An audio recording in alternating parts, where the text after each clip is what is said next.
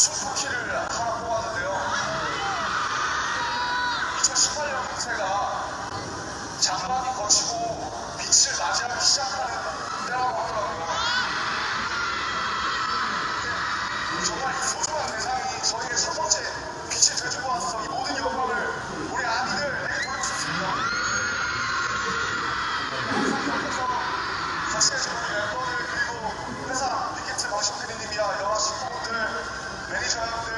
해어메이크업 스타일리시한 분을 보니까 정말 감사하고 사랑합니다.